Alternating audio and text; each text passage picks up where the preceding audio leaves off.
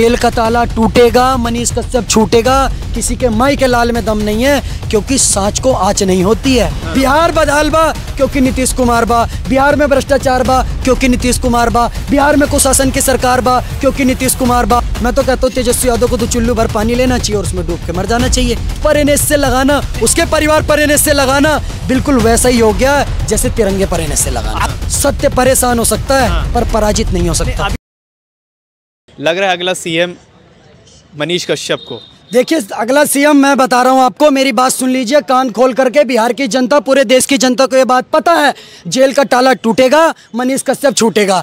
अरे भाई साहब, अगर वो व्यक्ति बोल रहा है कि मैं कोई चारा चोर का बेटा थोड़ी हूँ जो डरूँगा, मैं कोई घोटालेबाजों का बेटा थोड़ी हूँ, नेताजी एक बयान दे करके गए थे तुम मुझे खून दो मैं तुम्हें आज़ादी दूँगा। और ये लालू प्रसाद यादव के बेटे माननीय उप मुख्यमंत्री बिहार सरकार ने क्या नारा दिया है? तुम मुझे ज़मीन दो मैं तुम्हें नौकरी दूँगा।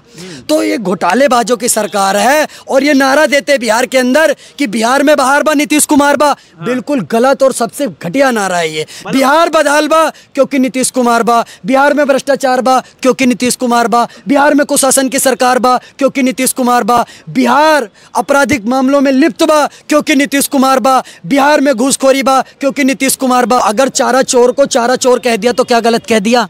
लालू यादव क्या गाय भैंस बैल बकरी सबका चारा खा के बैठे कि नहीं बैठे? आप बताइए। अगर चोर को चोर कह दिया डकैत को डकैत कह दिया चोट्टा को चोट्टा कह दिया तो क्या दिक्कत है? नहीं खाया लालू यादव ने चारा। बाकायदा तीन तीन केसों में सजा याफ्ता है कि नहीं? हाँ। सुप्रीम कोर्ट ने सजा सुनाई है। अगर चोर को चोर बोल दिया तो क्या गलत कह दिया? मतलब कि वो कत्ल कर दे तो चर्चा नहीं होती। हमने आ कर दिया तो बदनाम हो गए। तमिलनाडु से जो इन मजदूरों की अब निकल करके बातें आ रही हैं कि छह मजदूरों को मारा गया प्रताड़ित करा गया उनका बयान आ रहा क्या वो गलत है? अगर क्या सच की आवाज़ सच दिखाना आज इस देश में क्या गलत हो गया है? अगर गलत हो गया तो लोकतंत्र का चौथा स्तंभ मीडिया को कहना बंद कर दीजिए। आप बोल दीजिए कि लोकतंत्र का चौथा स्तंभ नहीं मीडिया। अगर कोई पत्रकार आपकी चरण चुम्बन पत्रकारिता नहीं करेगा जो आप चाहेंगे वो नहीं दिखाएगा हाँ। आपकी खिलाफत करेगा बिहार की आवाज़ उठाने का काम करेगा देश की आवाज़ उठाने का काम करेगा तो आप उसके ऊपर एनएसए लगा देंगे और देश की जनता को पता है वो व्यक्ति जिसके पिता ने आर्मी में पाकिस्तान से लोहा लिया हो हाँ। जिसके दादा ने चीन से लोहा लिया हो बासठ की जंग में।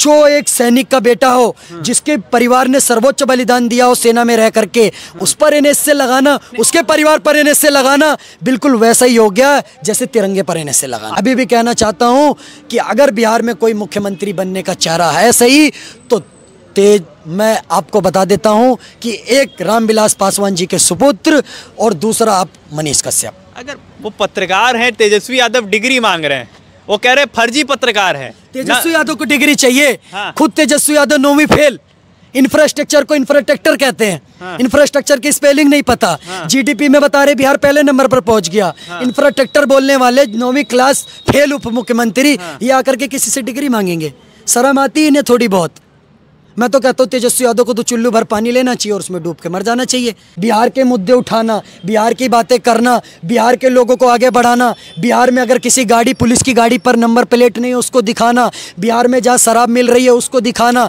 बिहार में छात्र नीति की पोल खोलना, जिस प्रकार की शिक्षा नीति की पोल खोलना, अगर इसको पत्रकारिता नहीं कहते, अगर इस पर एन लगना चाहिए तो देश के हर पत्रकार पर एन लगना चाहिए, देश के हर नागरिक पर एन लगना चाहिए, और देश का हर नागरिक गलत है, अगर मनीष का सब गलत है तो। आपको क्या लगता है मनीष कश्यप छह महीने बाद बाहर आएँगे कि नहीं और एनएसए लगना उन पर सही है कि नहीं, अपना रिव्यू कमेंट बॉक्स में ज़रूर दीजिएगा। वीडियो पसंद आया हो लाइक शेयर सब्सक्राइब ज़रूर कर दें।